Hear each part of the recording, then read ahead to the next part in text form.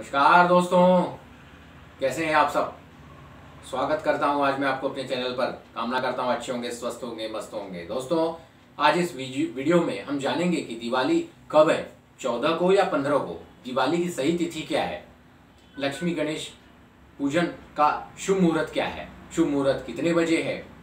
प्रदोष काल का शुभ मुहूर्त कितने बजे है? किस दिन है? अमावस्या किस दिन शुरू होगी और किस दिन तक रहेगी? और कैसे करें बही खाता का पूजन। तो इस वीडियो को आपको अंत तक देखना है मित्रों। पूरा देखिएगा वीडियो। मित्रों, दिवाली के दिन भगवान राम लंका पर विजय पाकर माता सीता को लेकर चौदह वर्षों का वनवास काटकर वापस अयोध्या आए थे। इस शुभ अवसर पर हर साल दिवाली मनाई जाती है। नवरात्रि स्थापना शनिवार को था मित्रों इस वर्ष, और दिवाली भी शनिवार को है। यह एक बड़ा ही मंगलकारी योग है। कि शनिवार, शनि जी स्वग्रही मकर राशि में है। यह योग व्यापार के लिए लाभकारी एवं जनता के लिए शुभ फलदायी रहेगा। कई वर्षों बाद यह दुर्लभ संयोग बनता है। तंत्र पूजा के लिए दीपावली पर्व को विशेष माना जाता है। इस वर्ष 14 नवंबर दिन शनिवार को दिवाली है मित्रों। सन 1521 से करीब चार सौ निन्यानवे साल बाद ग्रहों का दुर्लभ योग देखने को मिलेगा। लेकिन इस बार दोनों दिवाली यानी छोटी दिवाली और बड़ी दिवाली यानी लक्ष्मी पूजन एक ही दिन पड़ रहा है। दोनों दिवाली की दोनों तिथि एक ही दिन पड़ने के कारण और शनि एवं गुरु ग्रह से के अपनी ही राशि में होने के कारण शुभ संयोग का निर्माण हो रहा है। जिससे आर्थिक स्थिति बहुत ही मज़बूत होगी और धन धान्य की कोई भी कमी नहीं होगी। 12 नवंबर 2020 को रात साढ़े नौ बजे से त्रयोदशी तिथि आरंभ हो जाएगी, जो 13 नवंबर की शाम पाँच वर्ग पाँच बजकर उनसठ मिनट तक रहेगी। उसके उपरांत चतुर्दशी तिथि आरंभ हो जाएगी, जो 14 नवंबर को दोपहर दो बजकर सोलह मिनट तक रहेगी। उसके बाद अमावस्या शुरू हो जाएगी, जो 15 नवंबर को सुबह दस बजकर छत्तीस मिनट तक रहेगी। दिवाली दिवाली की पूजा रात में ही होती है, इसलिए 14 नवंबर को दिवाली मनाई जाएगी। वहीं चतुर्दशी तेरह से आरंभ होकर चौदह तक रहेगी। तो लक्ष्मी पूजन के दिन ही नरक चतुर्दशी भी मनाई जाएगी। लेकिन दान और स्नान पंद्रह नवंबर को ही किया जाना चाहिए। जी हाँ मित्रों। इस बार महालक्ष्मी और गणेश की पूजा चौदह नवंबर, यानी शनिवार को होगी। पूजा का शुभ मुहूर्त शाम साढ़े पाँच बजे से लेकर सात बजकर चौबीस मिनट तक रहेगा। पूजा करने की शुभ समय अवधि एक घंटा छप्पन मिनट की होगी। प्रदोष काल शाम साढ़े पाँच बजे से रात आठ बजकर सात मिनट तक रहेगा। वहीं वृषभ काल साढ़े पाँच से साढ़े सात तक रहेगा। अमावस्या तिथि चौदह नवंबर दो हज़ार दोपहर को दो बजकर सत्रह मिनट बजे से शुरू होकर दूसरे दिन पंद्रह नवंबर को सुबह साढ़े दस बजे तक रहेगी। चौदह नवंबर दिवाली के दिन रात आठ बजकर दस मिनट तक स्वाति नक्षत्र रहेगा। उसके बाद पूरी रात विशाखा नक्षत्र रहेगी। पूरे दिन सर्वात सिद्धि योग रहेगा। शनिवार को प्रदोष काल में स्वाति से बना सिद्ध योग कार्य सफलता के लिए बहुत ही अच्छा और शुभ माना गया है। स्वाति नक्षत्र चल संज्ञक नक्षत्र होने के कारण वाहन लेने देने, उद्योग कर्म, दुकानदारी, चित्रकारी, शिक्षक, स्कूल, श्रृंगार, प्रसाधन एवं अन्य कर्म के लिए अच्छा माना जाता है मित्रों। दिवाली पर माँ लक्ष्मी, गणेश भगवान और माँ सरस्वती की पूजा की जाती है। तीनों मूर्ति एक साथ स्थापित करनी चाहिए। लाल कपड़ा बिछाकर चौकी पर लक्ष्मी व गणेश की मूर्तियाँ इस प्रकार रखें कि उनका मुख पूर्व या पश्चिम में ही रहे। लक्ष्मी जी, गणेश जी की दाहिनी ओर रहें और पूजन कर्ता मूर्तियों के सामने की तरफ़ बैठें। कलश को लक्ष्मी जी के पास चावलों पर रखें मित्रों। नारियल को लाल वस्त्र में इस प्रकार लपेटे कि नारियल का अग्रभाग दिखाई देता हो। वह वह इसे कलश पर रखें।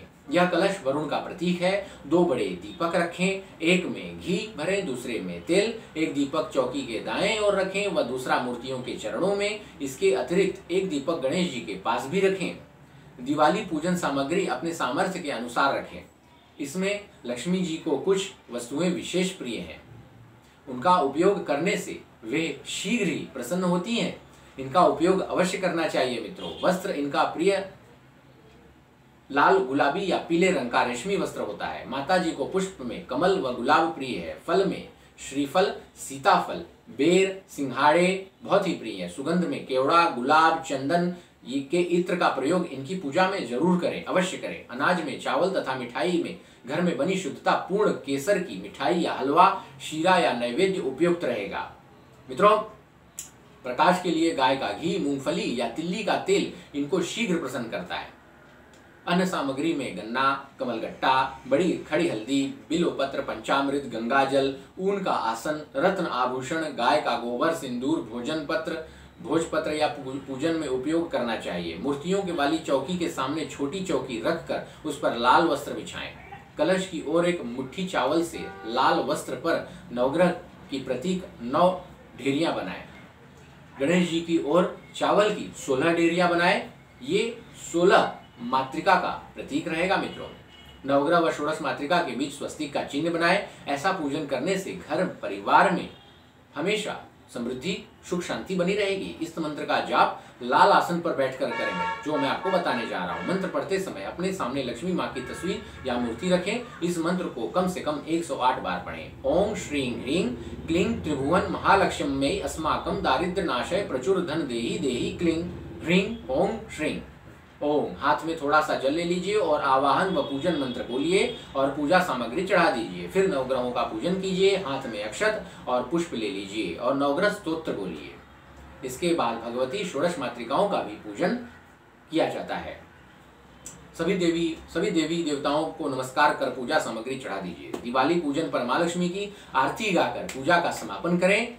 इसके साथ ही खीर, बताशे का प्रसाद अर्पित करें। अब मैं आपको बताऊँगा कि कैसे करें बही खाता का पूजन। बही खातों का पूजन करने के लिए पूजा मुहूर्त समय अवधि में नवीन खाता पुस्तकों पर केसर युक्त चंदन से या फिर लाल कुमकुम से स्वस्तिक का चिन्ह बनाना चाहिए। इसके बाद इनके ऊपर श्री गणेशाय नमः लिखना चाहिए। इसके साथ ही एक नई थैली लेकर उसमें हल्दी की पाँच गांठें, कमलगट्ठा अक्षत अक्षत, दुर्वा, धनिया या दक्षिणा रखकर थैली में भी स्वस्तिक का चिन्ह लगाकर सरस्वती माँ का स्मरण करना चाहिए मित्रों। माँ सरस्वती का ध्यान करें। ध्यान करें कि जो माँ अपने कर कमलों में घटा, शूल, हल, शंख, मूसल, चक्र, धनुष और बाण धारण करती है, चंद्र के समान जिनकी मनोहर कांति है, जो शुभ आदि शुभ आदि दैत्यों का नाश करने वाली है, वाणी जिनका स्वरूप है तथा जो सच्चिदानंदमय से संपन्न है, उन भगवती महासरस्वती को मैं प्रणाम करता हूँ, उनका ध्यान करता हूँ। ध्यान करने के बाद बही खातों का गंध, पुष्प, धूप, दीप, नैवेद्य से पूजन करना चाहिए। जहाँ पर नवग्रह बनाया गया हो, वहाँ पर रुपया, सोना, चांदी का सिक्का, लक्ष्मी जी की मूर्ति या मिट्टी के बने हुए श्री लक्ष्मी गणेश सरस्वती जी की मूर्तियाँ सजाएँ।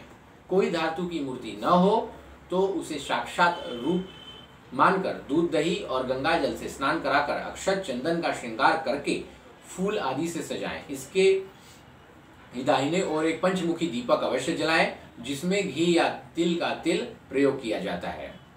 तो मित्रों, ये थी कुछ बहुत ही महत्वपूर्ण जानकारी दिवाली से संबंधित, दिवाली के विषय में, जो मैंने सोचा आपसे साझा करनी चाहिए। मित्रों, कैसा लगता है हमारा वीडियो? ज़रूर से ज़रूर कमेंट बॉक्स में लिख करके बताएँ। हमारे चैनल को सब्सक्राइब कर दें मित्रों, लाइक और शेयर करें, यही हमारे लिए दक्षिणा होगी।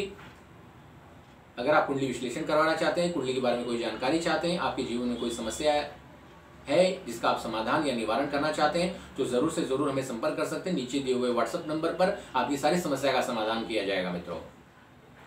तो मित्रों, मुझे, यानी आचार्य राज पांडे को इजाज़त दें।